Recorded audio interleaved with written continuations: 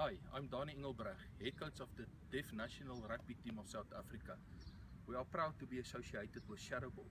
Shadowball sponsored each player in our Deaf National Rugby squad with a Shadowball and the four-week passing catching improvement program. And we found that after the end of four weeks training, we had an average of 89% progression in our passing skills.